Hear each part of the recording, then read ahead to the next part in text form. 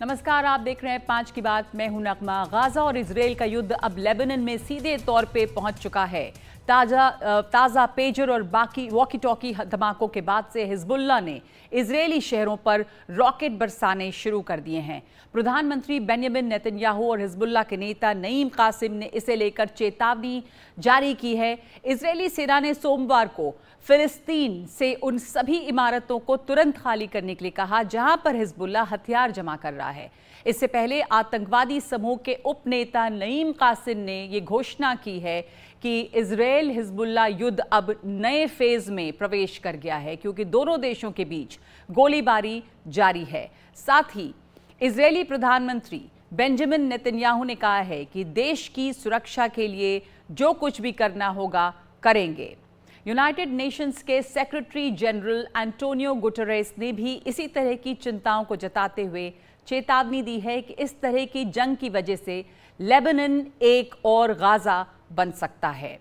Qatar मिस्र और संयुक्त राज्य अमेरिका के प्रयासों के बावजूद इसका कोई हल निकला अभी तक नहीं। तो मैप के ज़रिए समझने की कोशिश करते हैं कि कौन से इलाके में ये जंग है और इस जंग के दायरे में कौन कौन से देश आ रहे हैं। तो ये देखिए, दुनिया के इस नक्शे में हम इस क्षेत्र की बात कर रहे हैं जहाँ पर लेबनन, फिलिस्तीन इसराइल गाजा पट्टी, ईरान और सीरिया है। इसने आसपास के कई देशों को अपनी जद में ले लिया है।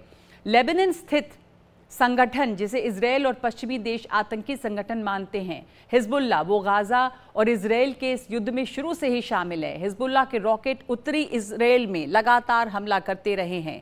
आप देखिए कि लेबनन से ऑपरेट करता है हिजबुल्ला और इसराइल का जो उत्तरी हिस्सा है, वो लेबनन की सीमा से लगता है और जो बीच की एक पट्टी आप देख रहे हैं, लाल रंग की, वो गाजा पट्टी है। अब ताज़ा युद्ध जो है, वो इसराइल और हिजबुल्ला के बीच में सीधे तौर पे है। तो किस देश की इसमें क्या स्थिति है, ये भी देखते हैं। कौन से देश किसके साथ हैं? इसराइल के साथ है अमेरिका और बाकी पश्चिमी देश। सऊदी अरब भी अमेरिका का एक बड़ा सहयोगी है। वो एक तरह से निष्पक्ष दिखता है, लेकिन वो ये बार बार कह रहा है कि इस युद्ध को रोकना चाहिए। वो युद्ध के रोकने के पक्ष में है। गाज़ा के साथ में ये तमाम देश हैं, जिसमें लेबनन है, सीरिया है, ईरान है, और साथ साथ कतर और मिस्र जो हैं, इस सीज फायर की मध्यस्थता में शामिल हैं। अब आपको ये जानकारी दे दें कि हिजबुल्ला जो लेबनन से ऑपरेट करता है, वो हिजबुल्ला दरअसल क्या है? हिजबुल्ला का नाम आप लोगों ने लगातार सुना इन दिनों, पर हिजबुल्ला जो शब्द है, उसका दरअसल अर्थ होता है party of God Hezbollah Lebanon से ऑपरेट करता है, सैन्य और प्रशासनिक दो धड़े हैं इसके। पश्चिमी देश जो हैं, वो इसे एक आतंकी संगठन घोषित कर चुके हैं। हिजबुल्ला के पास बहुत बड़ी तादाद में, भारी संख्या में हथियार हैं। इनके पास में बलिस्टिक मिसाइल है एंटी एयर मिसाइल है एंटी टैंक और एंटी शिप मिसाइल है। इनके पास आर्टिलरी रॉकेट का एक बड़ा जखीरा है। 1975 से 90 के बीच में हिजबुल्ला खड़ा हुआ। यानी इसके ये संगठन जो है, इसकी रचना हुई, इसका जन्म हुआ ईरान में उन्नीस में। इस्लामिक सरकार बनने से ये काफ़ी प्रेरित हुआ। पश्चिमी एशिया में इसराइल और पश्चिमी देशों के प्रभाव के हिजबुल्ला खिलाफ है। हिजबुल्ला चाहता क्या वो ये कि जो पश्चिमी एशिया है, वेस्ट एशिया, वहाँ पर इसराइल और पश्चिमी देशों का प्रभाव जो है वो ना रहे। इसके अलावा हिजबुल्ला को ईरान की लाखों डॉलर की फंडिंग मिलती है, ऐसा अमेरिका का कहना है। 2022 में हिजबुल्ला के पैंतालीस हज़ार फाइटर थे। ये सीआईए की रिपोर्ट है। इनके पास रूती, रूसी जो मिसाइल होते हैं, रॉकेट्स होते हैं, वो भी हैं, जैसे कातियूशा, जिसकी रेंज 40 किलोमीटर है। इनके पास ईरान के बने रॉकेट्स हैं, जिसमें जो रॉकेट्स मुख्य हैं, वो राद है, जिसका मतलब होता है राद, अरबी शब्द है, इसका मतलब है तूफ़ान, फज्र यानी कि सुबह, जलजल यानी भूकंप। तो अब एक, दूसरे ग्राफिक प्लेट के ज़रिए आपको ये दिखाएँगे कि इसराइल बनाम लेबनन, क्योंकि जंग जो है वो अब इसराइल बनाम लेबनन है। इन दोनों की आर्थिक हैसियत जो है वो क्या है? अब ये युद्ध इसराइल और लेबनन के बीच ही हो रहा है, क्योंकि ये कहा गया है कि लेबनन का मतलब है हिजबुल्ला ऐसा पश्चिमी देश मानते हैं। तो दोनों की आर्थिक हैसियत क्या है इस युद्ध में, वो दिखा दें आपको। लेबनन की आबादी 91 लाख है इसराइल की आबादी इकसठ लाख है। जीडीपी की बात की जाए तो यहाँ पे आप देख रहे हैं कि लेबनन की जो इसराइल की जीडीपी है, वो 370.6 है और दूसरी, यहाँ पे छप्पन दशमलव छः बिलियन डॉलर जो है लेबनन की है। प्रति व्यक्ति आय की अगर बात की जाए तो इसराइल की बयालीस हज़ार डॉलर सालाना है, लेबनन में प्रति व्यक्ति आय आठ दशमलव तीन हज़ार डॉलर सालाना है। महँगाई दर इसराइल में शून्य दशमलव आठ फ़ीसदी इन्फ्लेशन लेबनन छः दशमलव एक फ़ीसदी। तो बेरोज़गारी भी वहाँ पर बहुत बड़े पैमाने पे है छः दशमलव दो फ़ीसदी है और इसराइल में पिछले लगातार जो युद्ध चल रहा है, उससे भी कुछ बेरोज़गारी बढ़ी होगी। वहाँ चार फ़ीसदी की बेरोज़गारी दर अभी है। तो दोनों की जो आर्थिक हैसियत है, वो ये है, अब ये दोनों मुल्क जो टकरा रहे हैं और हिजबुल्ला लेबनन से ऑपरेट करता है तो युद्ध सीधे लेबनन में ही आ पहुँचा है। अब जहाँ रॉकेट बरस रहे हैं इसराइल के और इधर लेबनन भी अपने रॉकेट बरसा रहा है, अब देखें कि किसके पास कितनी ताकत है। इसराइल बनाम लेबनन। तो इसमें देखिए तो रक्षा बजट अगर दोनों का देखा जाए इसराइल का रक्षा बजट जो है, वो 244 करोड़ डॉलर है। और लेबनन का निन्यानवे दशमलव पाँच करोड़ डॉलर रक्षा बजट है इनका।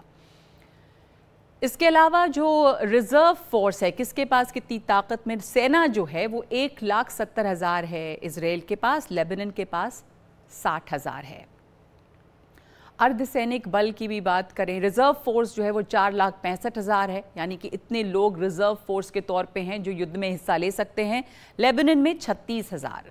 लोग हैं, जो रिज़र्व फोर्स के तौर पर हैं। अब, यहाँ पे अर्धसैनिक बल पैंतीस हज़ार इसराइल के पास है, लेकिन लेबनन में ज़्यादा पैरामिलिट्री फोर्सेस जो होते हैं, अर्धसैनिक बल, वो पैंसठ हज़ार हैं। युद्ध की स्थिति में ये अर्धसैनिक बलों का इस्तेमाल जो है, वो किया जाता है। विमानों की संख्या अगर देखते हैं कि कुल विमान इसराइल के पास 612 हैं, लेबनन के पास जो कुल विमान है, वो इक्यासी है 81 और जंगी विमान, यानी कि जो फाइटर एयरक्राफ्ट हैं, वो इसराइल के पास 141 हैं लेबनन के पास फाइटर एयरक्राफ्ट नहीं है, जो जानकारी इंटरनेट पर अवेलेबल है। ये भी हो सकता है, कई चीज़ें जो हैं हिजबुल्ला के बारे में, ये अमेरिका का कहना है कि सामने नहीं आती हैं।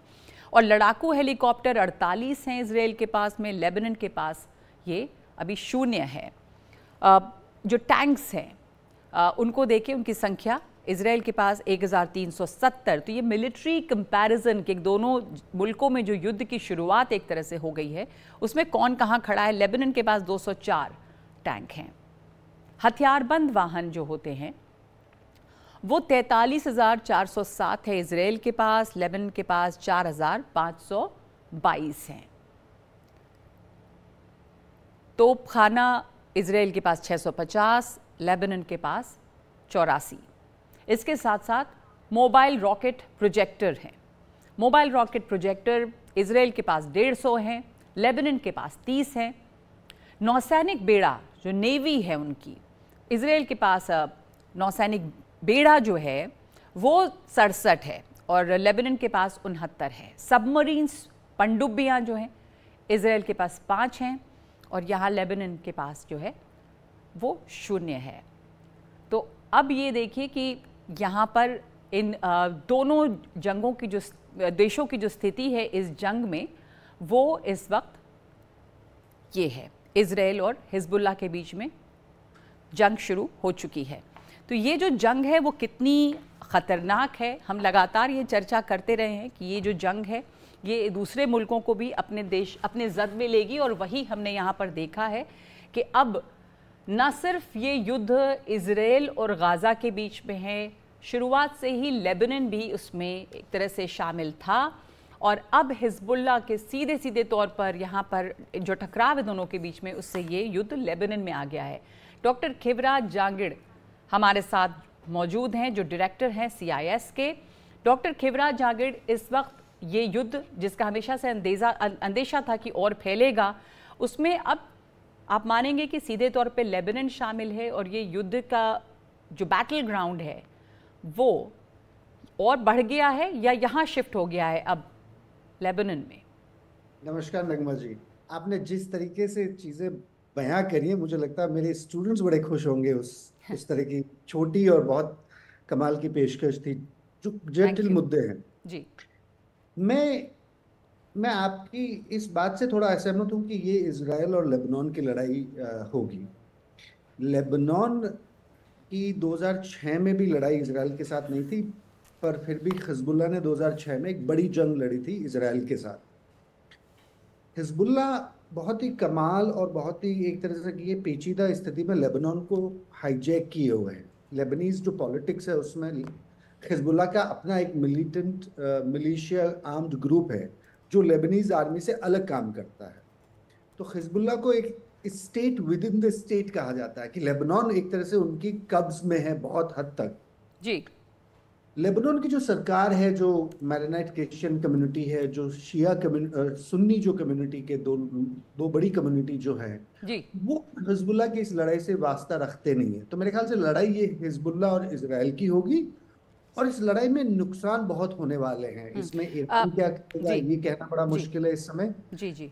और इसराइल के पास अभी लगता है कि बढ़त काफ़ी है उसकी दो हम्म। वजह हम्म। इसराइल ने बहुत वक्त दिया इस लड़ाई को करने में हिजबुल्ला पिछले 11 महीने से जिस तरह से नॉर्थ में बमबारी कर रहा था सबको लगा था कि इसराइल तुरंत लड़ाई करेगा तो जिस तरह से उन्होंने पेजर ब्लास्ट किए जिस तरह से उन्होंने हिजबुल्ला की एक बड़ी लीडरशिप को चौदह पंद्रह लोगों को अभी तीन दिन पहले एक स्ट्राइक में बेरूत में ख़त्म किया हम्म। तो ऐसा लगता है कि इसराइल एक बड़ी तैयारी के साथ ये जंग हम्म। शुरू कर रहा है हम्म। और वो एक हद तक एयर स्ट्राइक से ही आ, काम करेंगे बजाय कि अपनी सेना डॉक्टर जहांगीर एक बात आपसे पूछनी ये मैंने वेस्टर्न मीडिया में बहुत जगह पढ़ा है और वेस्ट ये मानता है कि Lebanon is equal to Hezbollah तो ये आ, किस हद तक सही है और ये यूएन के मुखिया ने भी ये बात अब कही कि ये जो जंग है वो अब लेबनन में आ गई और लेबनन जो है वो एक और गाज़ा बनने की आ, सूरत में है। तो ये आ, आपको लग रहा है क्योंकि अगर लेबनन सीधे तौर पे भी नहीं है तो हिजबुल्ला वहाँ से ऑपरेट करता है तो लेबनन के लिए ये बड़ी बुरी खबर है और स्थिति वहाँ पे अब ख़राब हो होगी। देखिए, लेबनान के अंदर स्थिति बहुत ख़राब है और अगर आप लेबनीज अरब मीडिया को देखें पिछले छः सात महीने से तो सुन्नी कम्युनिटी के लोग और मैनाइट क्रिश्चियन कम्युनिटी के लोग civil society political members of the parliament उन्होंने बहुत साफ़ गोई से हिजबुल्ला की इस इसराइल के प्रति जो बमबारी थी, उसका विरोध किया है कि आप ये बदमाशी कर रहे हैं ईरान की शह पे और इसका खामियाजा ईरान के लोग नहीं, लेबनान के लोग भुगतेंगे। देखिए इसराइल ने लेबनान पे कब्जा किया था उन्नीस में पीएलओ और यासिर अराफात को वहाँ से खदेड़ने के लिए जो कि वो खदेड़ पाए। वो कामयाब लड़ाई थी पर फिर इसराइल ने साउथ लेबनान को ऑक्यूपाई करके रखा 18 साल तक। 2000 में इसराइल ने यूनिलेटरली लेबनान से अपनी सेना वापस खींच ली थी। तो 2000 के बाद तो लेबनान की किसी एक किलोमीटर की ज़मीन पे भी इसराइल का कब्जा नहीं है। हम्म। लेबनान के लोग ये चाहते थे कि 2006 की जो सीज फायर समझौता था जो यूएन ने किया था रेजोल्यूशन 1701 के तहत उसका मान हिजबुल्ला करे कि 20 किलोमीटर का साउथ का दायरा बिल्कुल डीमिलिटराइज्ड होगा। पर लेबनान अब सरकार हिजबुल्ला के खिलाफ क्या करती है ये देखने वाली बात तो अब ये भी है कि हिजबुल्ला के लोग एक कहा जाता है कि एक शेप शिफ्टिंग ऑर्गेनाइजेशन की तरह हिजबुल्ला ने काम किया है और वो उसको ख़त्म करना बड़ा मुश्किल रहा है। किसी और सूरत में वो आ गया, बल्कि गवर्नमेंट में भी शामिल वहाँ पर होने लगे। तो ऐसे में हिजबुल्ला का ख़ात्मा, उसको मिटाना, ये जैसे अलकायदा को हमने देखा, जैसे और आतंकी संगठन थे हिजबुल्ला का खात्मा क्या मुमकिन है और हिजबुल्ला लेबनान की सच्चाई है? हिजबुल्ला लेबनान की सच्चाई तो कतई नहीं है। लेबनान अपने आप में बहुत ही आ, कमाल का एक नो मुल्क है जिसमें बहुत तरह की चीज़ें हैं मल्टी पार्टी तो है तो क्या वो एक नॉन स्टेट एक्टर के तौर पे ही है वहाँ पे या उनका इन्फ्लुएंस वहाँ पे गवर्नमेंट में भी है? उन्होंने उन्होंने सरकार में जगह बनाई। इन्होंने इनकी शुरुआत ईरान की शिया रिवोल्यूशन के बाद होती है फिर ये आर्म्ड ग्रुप ही रहे पर फिर उन्होंने मेंबर्स अपने पार्लियामेंट में डालने की पर हसन नसरल्ला अपनी सरकार चलाते हैं। ये मानिए ना एक देश के अंदर एक बहुत बड़ा आर्म्ड ग्रुप है जो दूसरे मुल्क के साथ लड़ाई लड़ता है और लेबनान की सेना का हिस्सा नहीं है। तो लेबनान अपने आप में बड़ी मुश्किल में है जी। और हिजबुल्ला की ये गैर जिम्मेदाराना हरकत मेरे ख्याल से ईरान की शय पे ज़्यादा चलती है। अब ये लड़ाई तभी रुकेगी जब ईरान वाले हिजबुल्ला से अपना हाथ खींचेंगे कि नहीं अब लड़ाई बंद करिए। तो ये लड़ाई तो मतलब जैसा मुझे याद है आज से आठ दस महीने पहले हमारी जब बातचीत होनी शुरू हुई थी। जी। तो यही डर था कि ये लड़ाई और कहाँ फैलेगी? तो आज ये मतलब पिछले तीन चार दिन में तो ये लड़ाई लेबनान में फैली गई है। हम्म, हम्म।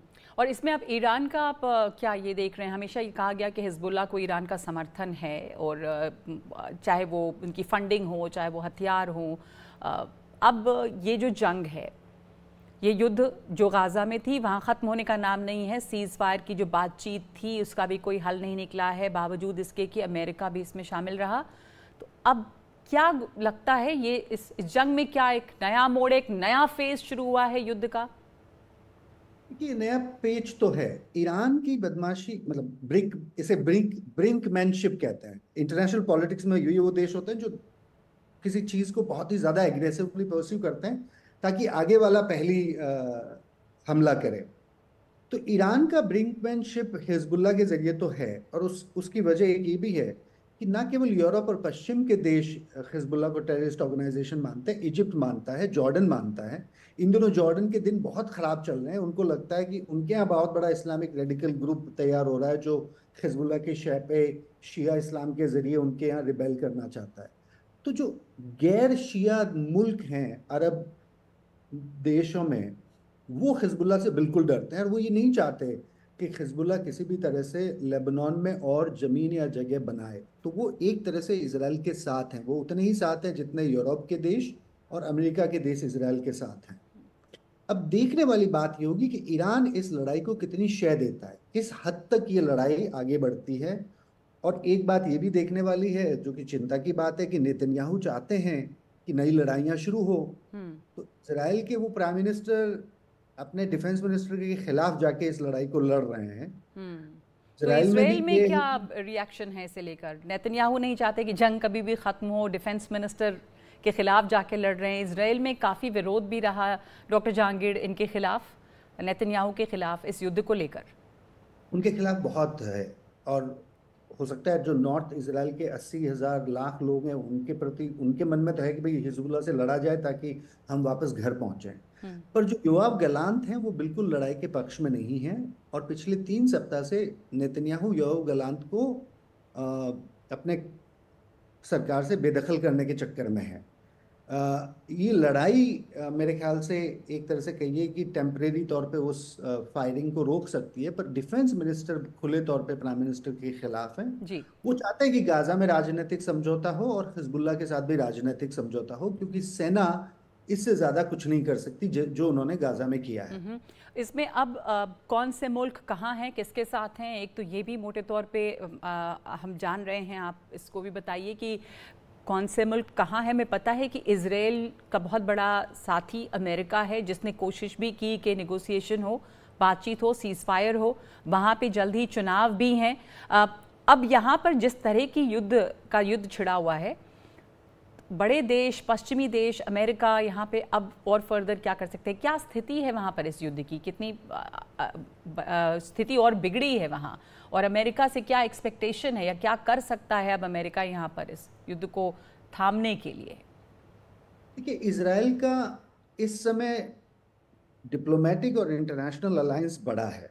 अमेरिका से ज़्यादा कोशिश और मशक्क़त करी थी फ्रांस ने। फ्रांस का बड़ा असर है लेबनियन की राजनीति में। जब कॉलोनियलिज्म के वक्त में लेबनान फ्रांस की कॉलोनी था तो हम्म। अभी भी उनको बहुत ज़्यादा असर है वहाँ पे। फ्रेंच बहुत कॉमनली बोली जाती है लेबनान में। जी।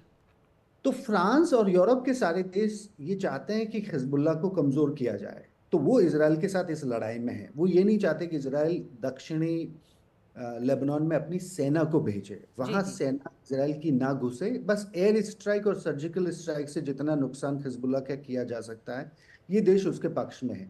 जो सुन्नी देश हैं इजिप्ट और यूएई और सऊदी अरेबिया और इजिप्ट और जॉर्डन ये सारे मुल्क इसराइल के इस मसले में साथ हैं।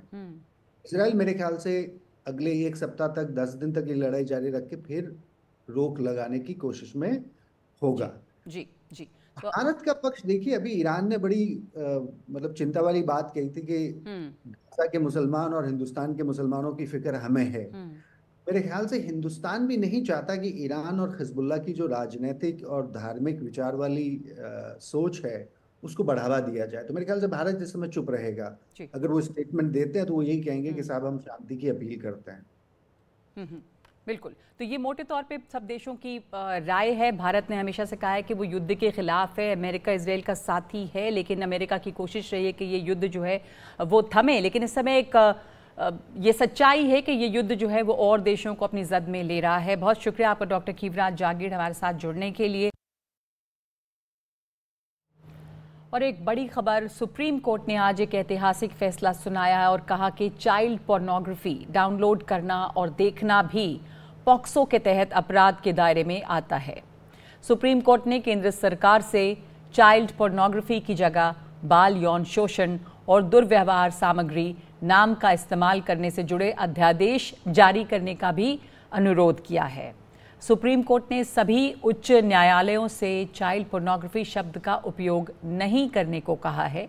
सुप्रीम कोर्ट ने मद्रास हाई कोर्ट के उस फैसले को रद्द कर दिया है, जिसमें कहा गया था कि चाइल्ड पोर्नोग्राफी से जुड़े कंटेंट को सिर्फ़ डाउनलोड करना या फिर देखना पॉक्सो एक्ट या आईटी कानून के तहत अपराध के दायरे में नहीं आता।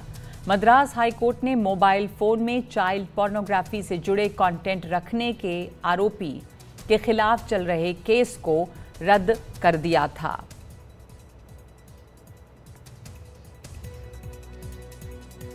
इस पर और जानकारी दे रहे हैं मेरे सहयोगी आशीष भार्गव।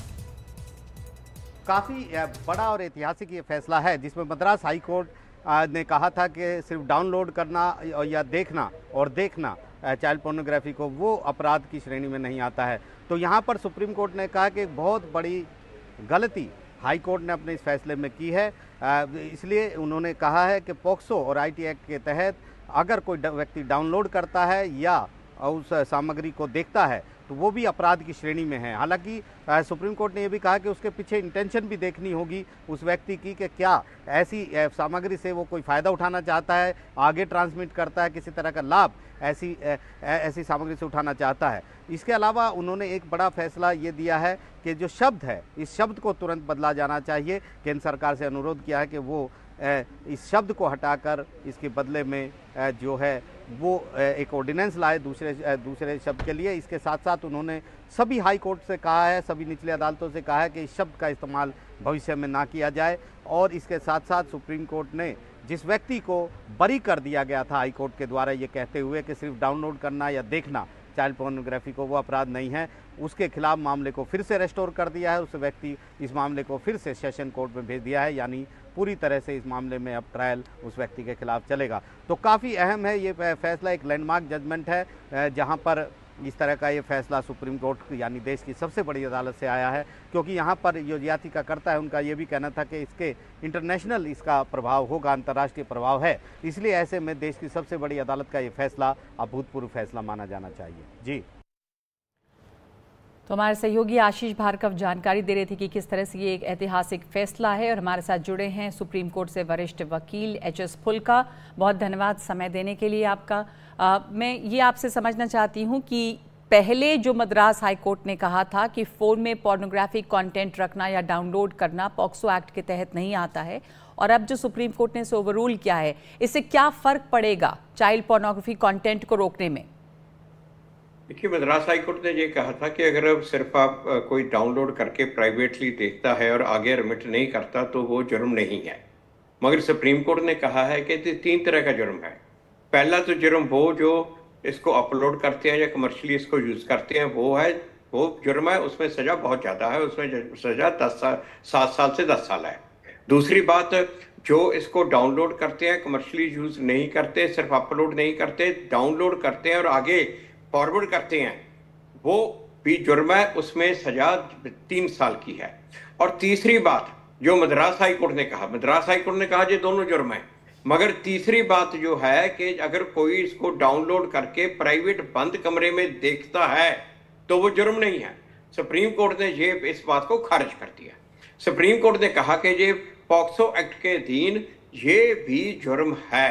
हम्म। कोई अपने बंद कमरे में किसी बच्चे की शलील वीडियो को डाउनलोड करके खुद देखता है तो ये भी जुर्म है जी मगर उन्होंने साथ में ये भी कहा कि अगर किसी ने गलती से डाउनलोड कर ली तो उसी वक्त उसको डिलीट कर दो हम्म। और अगर तो, वो रिपीटेडली एक आदमी से आपको आ रही है तो उसको पुलिस को रिपोर्ट करो कि ये बारी बारी बच्चों की श्लील वीडियो भेज रहा है जी, ये जी, मगर जी. अगर आपने डाउनलोड करके आप वॉच की तो चाहे आपने कमरा बंद करके की, और इसमें बहुत ज़्यादा महत्वपूर्ण जो मैं चाहता हूँ जो आपके दर्शक भी जाने कि ये जो केस था मद्रास का, यहाँ पे ये जो लड़का था ये अपने कमरे में ही बैठ के वीडियोज़ वॉच करता था।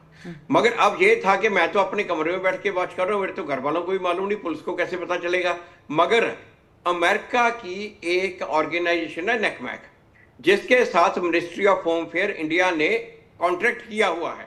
वो नेकमैक जे निगाह रखती है अपनी वॉच रखती है कि कहाँ कहाँ पे चाइल्ड जे जो पोर्नो की वीडियो हैं वहाँ पे डाउनलोड करते हैं। तो नेकमैक ने इसको लड़के को आइडेंटिफाई किया इसका phone number ministry of home affairs को भेजा मिनिस्ट्री ऑफ़ होम फेयर ने तमिलनाडु सरकार को भेजा तमिलनाडु सरकार ने इसका वहाँ पे देख के कि किस जगह पे लोकेशन नोट करके जाके वहाँ पे रेड करके फ़ोन पकड़ा और उसमें ये श्लील वीडियो पाई। मगर अगर कोई ये सोचे कि मैं अपने बंद कमरे में बैठ के कर रहा हूँ किसी को पता नहीं है नो ये भूल जाओ। यू आर बीइंग वॉच्ड और सुप्रीम कोर्ट ने ये भी कहा है कि सोसाइटी के लिए बहुत शर्म की बात है कि ये वीडियो वॉच करते हैं लोग इनकी डिमांड है। डिमांड करने की बजाय जो बनाते हैं वो बच्चों के साथ पहले ये श्लील हरकत करते हैं उसको रिकॉर्ड करते हैं रिकॉर्ड करके फिर उसको आगे देते हैं। इसलिए उन्होंने कहा कि ये जो डिमांड है ना इसको चेक करना बहुत ज़रूरी है। यही खत्म करनी चाहिए। जी। अगर कोई इसको देखेगा ही नहीं तो डिमांड भी होगी तो ऑब्वियसली वो उन लोगों को भी नहीं आएगा इसकी इंटरनेशनल रेमिफिकेशन है। अब कोई ब्राज़ील में बैठा बच्चों के साथ वीडियो बना रहा है और जाके वो वीडियो कहीं जे टर्की से या कहीं और से अपलोड हो रही है। इंडिया में वो वॉच हो रही है। तो ये जो जजमेंट है जो सुप्रीम कोर्ट की ये पहली बार ये ये सारी दुनिया में पहली बार इस तरह की लेबोरेट जजमेंट आई है। हमने जब आर्गू किया था तो हमने यूएनओ की convention international convention Canada supreme court की भी जजमेंट सब दिखाए थे। मगर जो सुप्रीम कोर्ट जो इंडिया ने जो जिस तरह से इसको पूरा डिस्कस किया ये दुनिया में पहली बार है जी तो बहुत ही हिस्टोरिक है और इसका आपको अ, जैसा आपने कहा कि दुनिया में पहली बार हुआ आपने बहुत महत्वपूर्ण बात बताई कि संस्था है अमेरिका में जिसके साथ कोलैबोरेशन में यहाँ पर मिनिस्ट्री अच्छा जो है अब मैं बता दूँ। ये हाँ। पहले था। हाँ। अब इंडिया में भी ये सिस्टम आ गया। केरला पुलिस ने एक पी हंट के नाम का प्रोग्राम शुरू किया है। अब वही जो पहले हम अमेरिका पे डिपेंडेंट थे अब वो केरला पुलिस कर रही है। ओके तो सिर्फ़ केरला पुलिस कर रही है या दूसरे राज्यों नहीं बाकी स्टेटों ने अभी नहीं शुरू किया। अब अब करेंगे। अब मुझे लग रहा है कि अब फ़र्क पड़ेगा। हाँ। बाकी स्टेटों ने भी शुरू किया बाकी सारे अमेरिका पे डिपेंडेंट हैं। तो ये एक ऐतिहासिक फैसला है। बहुत शुक्रिया बहुत विस्तार में समझाने का इसे एच एस पुलका साहब कि इससे कित ये कितना ऐतिहासिक है कैसे चाइल्ड पोर्नोग्राफी कंटेंट जो लोग डाउनलोड कर रहे हैं देख रहे हैं वो संभल जाएँ क्योंकि आप जितना देख या डाउनलोड कर रहे हैं डिमांड जितनी बढ़ती उसी हिसाब से सप्लाई भी है। और आप एक इस तर, इस चीज़ को बढ़ावा दे रहे हैं लेकिन आपके ऊपर नज़र है जैसा पुलका साहब ने कहा you are being watched track करती हैं संस्थाएँ और जब ये हद से ज़्यादा जहाँ जहाँ ये हो रहा है आ, उनके ऊपर निगाह रहती है और अब जो है मामला वो पॉक्सो एक्ट के तहत दर्ज होगा और उसी हिसाब से इसमें सज़ा मिलेगी। किरण राव और आमिर खान की फ़िल्म है लापता लेडीज़ और इसे ऑस्कर 2025 में ऑफिशियल एंट्री मिली है। फ़िल्म फेडरेशन ऑफ़ इंडिया ने सोमवार को लापता लेडीज़ के अकादमी पुरस्कारों में सर्वश्रेष्ठ अंतर्राष्ट्रीय फ़िल्म श्रेणी में शामिल करने का फैसला सुनाया। फ़िल्म का निर्देशन किरण राव ने किया है। इसका निर्माण किरण राव आमिर खान ज्योति देशपांडे ने मिलकर किया। इस फ़िल्म में नितांशी गोयल प्रतिभा रांटा स्पर्श श्रीवास्तव छाया कदम रवि किशन मुख्य भूमिकाओं में हैं। गई? किरण राव की लापता लेडीज़ ऑस्कर में आधिकारिक तौर पर जा रही है हिंदुस्तान से और इसी मौके पर हमारे साथ बात करने के लिए हैं खुद डायरेक्टर किरण राव। बहुत बहुत शुक्रिया बात करने के लिए। लोग आपसे पूछ रहे होंगे, कैसा लग रहा है? मैं आपसे पूछता हूँ, आप कहाँ पे थी जब खबर मिली और एक्सप्रेशन क्या थे आप? एक्चुअली अभी भी बिलीव नहीं हो रहा है। मैं अभी भी लफ्ज़ ढूंढ रही हूँ कि क्या बोलूँ, क्या सोचूँ, क्योंकि एक बिल्कुल एक्सपेक्ट नहीं कर रही थी। दरअसल मैं कुछ पढ़ रही थी यहीं पर अपने स्टूडियो में। स्टोरी पढ़ रही थी और बीच में मेरे फैमिली के ग्रुप से एक टेक्स्ट आया कि एक मेरे कज़न जर्नलिस्ट हैं, उनके फ़ीड में आया। किसी तरह से। तो मैंने कहा नहीं भाई सब लोगों को गलत फहमी हुई है। मैं लोग पूछ रहे हैं कि कैसा फील हो रहा है अगर आप जाएँ। उन्होंने बोला नहीं नहीं ये आया है अभी बाकायदा फ़ीड अभी पता चलेगा आपको जब पीटीआई वगैरह में आएगा। तो पता चला तो बहुत खुश हो गए और आमिर का एक्सप्रेशन क्या था? आमिर को हम अब जाकर मिले क्योंकि हम फ़ोन ट्राई कर रहे थे वो स्क्रीनिंग में थे। तो हम बता नहीं पाए फिर फाइनली जब फ़ोन लगा और फ़ोन लगी और उनसे बात हुई तो बहुत ही खुश थे। तो कहा भाई मुबारक हो आपको सारी टीम को हम सबको। बस अब देखते हैं आगे क्योंकि अब ठीक से बात हो नहीं पाई है वो अभी भी स्क्रीनिंग में है अभी आ नहीं आए नहीं है। देखिए मैं ये नहीं बोलूँगा कि कॉन्फिडेंस कॉन्फिडेंस आप में है लेकिन जब certain kind of cinema work नहीं कर रहा होता है ऐसे में इस साल लापता लेडीज़ काम करती है ऊपर से अवार्ड के लिए जाती है। आ, कहीं ना कहीं एक अपने ऊपर विश्वास और इस तरह के कंटेंट पे विश्वास होता है। होने लगा है। अब एक्चुअली जब आप कभी भी कुछ करते हैं शुरुआत में बहुत सारे प्रश्न होते हैं, सवाल खड़े हो जाते हैं कि आपने विदाउट स्टार्स कहानी बनाई विदाउट गाने, बजाना, कोई ग्लैमरस लोकेशंस नहीं तो कैसे चलेगी? फ़िल्म लोग आएँगे क्या? लोग पसंद करेंगे क्या?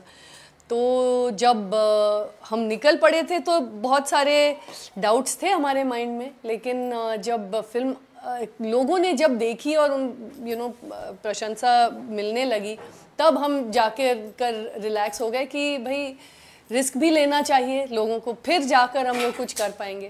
जी, लेकिन मुझे बताइए कि अभी जब ये खबर आ गई है, उसके बाद की जो लड़ाई है वो ज़्यादा लंबी है? क्योंकि ऑस्कर में सिलेक्ट होने के बाद जिस तरह से वहाँ प्रमोशन करना पड़ता है लोगों से मिलना पड़ता है पार्टीज़ में जाके मिलना पड़ता है आ, ये मशक्क़त ज़्यादा होगी या फ़िल्म बनाने वाली मशक्क़त और इसको रिलीज़ करने वाली ज़्यादा थी? भाई हर एक फ़िल्म की जो जर्नी होती है वो सफ़र तय करना कि सभी कभी कभी तो दस साल लग जाते हैं। हमारा हमारे महज पाँच साल लगे हैं अब तक। तो अभी ये जर्नी बहुत लंबी है क्योंकि ऑस्कर तक पहुँचने की जो आ, एक तरह से कैंपेन और स्ट्रैटेजी बनाने में जो एक्सपर्टीज़ चाहिए, पैसे चाहिए, पूरी तरह से सब लोगों का सपोर्ट चाहिए, वो इकट्ठा करना एक अपने आप में बहुत मुश्किल काम है और उसमें हम अभी उतरेंगे उस मैदान में और देखेंगे कैसे हम क्या कर पाएँगे right. एक और चीज़ मैं पूछना चाहूँगा कि फ़िल्म का जो मुद्दा था, बहुत अहम था, जो लोगों के साथ रेजोनेट किया, लोगों को पसंद आया और आप इस तरह के परिपेक्ष से या बैकग्राउंड से नहीं आती हैं जहाँ घूंघट होता है जहाँ इस तरह से देवरानी और जेठानी का वार्तालाप होती है, बात होती है, यहाँ मुंबई में या बड़े शहरों में रहने वाली किरण राव कितना आइडेंटिफाई करती हैं इन कैरेक्टर या इन प्रॉब्लम से? मैं एक तरह से पूरी तरह से आइडेंटिफाई करती हूँ, क्योंकि मुझे लगता है कि इस कहानी के जो मुद्दे हैं, जो विषय हैं, वो बहुत ही यूनिवर्सल हैं। वो दुनिया भर में आप रूरल इंडिया छोड़ दीजिए, अर्बन इंडिया छोड़ दीजिए, दुनिया भर में औरतों को अलग अलग कस्म के, इसी, इन्हीं मुद्दों से, इन्हीं समस्याओं से जूझना पड़ता है अलग अलग लेवल पर।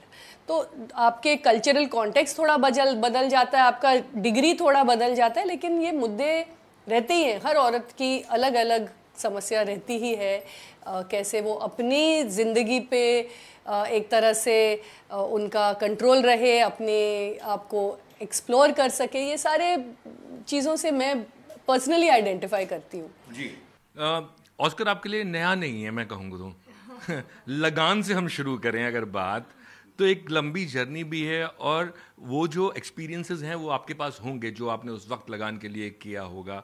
आपको लगता है कि लगान से लेके लापता लेडीज़ दोनों एल एल है अब तक आप आपको लगता है कि लगान से लेके लापता लेडीज़ तक और ज़्यादा मुश्किल हो गया है वहाँ पे कैंपेनिंग या अपनी बात पहुँचाना या अपनी फ़िल्म को अवार्ड तक पहुँचाना अवार्ड मिलने तक? लगान के वक्त मैं एक्चुअली डायरेक्टली इन्वॉल्व नहीं थी तो मैं कहानियाँ सुनती थी आशु और आमिर से कि ये हुआ था ऐसा होता है वैसा होता है। तो अब आ, वैसे बहुत दो दशक तो हो गए तब उस बात को। लेकिन शायद वही चीज़ें होती होंगी एक तरह का सिस्टम होता होगा। तो आ, मैं बस बेसब्री से सब न्यूज़ सुनती रहती थी कि अब ये हुआ है अब फिर नॉमिनेट हुई है। तो उस तरह से आ, अब मुझे रिंग साइड सीट से अभी स्पॉटलाइट सीट में जाने का मौका मिला है तो खुश नसीब हूँ बहुत अभी देखते हैं। कोशिश पूरी करूँगी। जी आखिरी चीज़ पूछूँगा आपसे कि इतना जो जो फ़िल्म है लापता लेडी जो धोबी घाट हुआ ये सब वो फ़िल्में हैं जो कंटेंट बेस्ड सिनेमा है। और एक हर डायरेक्टर का एक प्यार होता है जिस तरह की कहानियाँ वो बनाना चाहता है। लेकिन इसके बाद आप इसी तरह की कहानियाँ बनाएँगी या आप सोच रहे हैं कुछ कॉमर्शियल पे भी हाथ आजमाया जाए?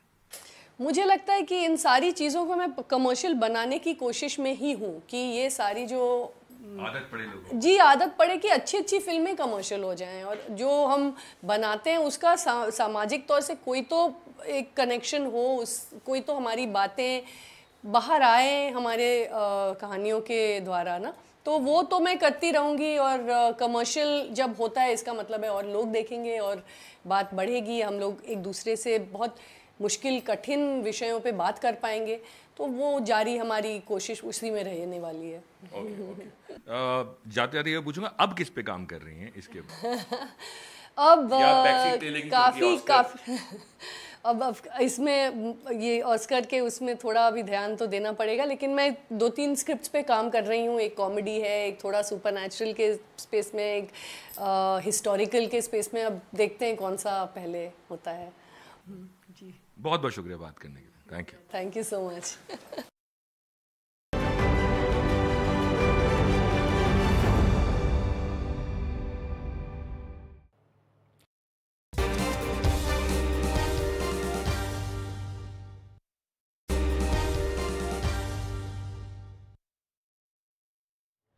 Sri Lanka के वामपंथी नेता अनुराग कुमारा दिसनायके ने राष्ट्रपति चुनाव में जीत दर्ज कर ली है। नेशनल पीपल्स पावर गठबंधन के प्रमुख अनुराग दिसनायके ने श्रीलंका के नौवे राष्ट्रपति के तौर पर शपथ ली। शपथ ग्रहण समारोह के बाद उन्होंने कहा कि श्रीलंका में एक नए युग की शुरुआत है। साथ ही श्रीलंका के हालात को लेकर कहा कि हम जादूगर नहीं हैं। एक पार्टी या अकेले सरकार इतने गंभीर संकट से निपट नहीं सकती। हम लोग साझा प्रयासों से ही हालात का सामना कर सकते हैं। श्रीलंका के इतिहास में ये पहली बार है जब चुनाव में किसी भी उम्मीदवार को जीत के लिए ज़रूरी 50 प्रतिशत से अधिक मत नहीं मिले, जिसकी वजह से दूसरे राउंड की गिनती की गई। अब राष्ट्रपति चुने जाने के बाद अनुराग कुमार दिसनायके के सामने आर्थिक संकट और जातीय तनाव जैसी घरेलू चुनौतियाँ हैं। साथ ही ये भी देखना होगा कि वो श्रीलंका की विदेश नीति को किस दिशा में आगे ले जाते हैं और भारत के साथ संबंध कैसे आगे बढ़ते हैं। अनुराग कुमार दिसानायके वामपंथी विचारधारा से हैं। अक्सर वामपंथी सरकारों को वैचारिक रूप से चीन के करीब माना जाता है। ऐसे में भारत के लिए एक कूटनीतिक चुनौती भी है।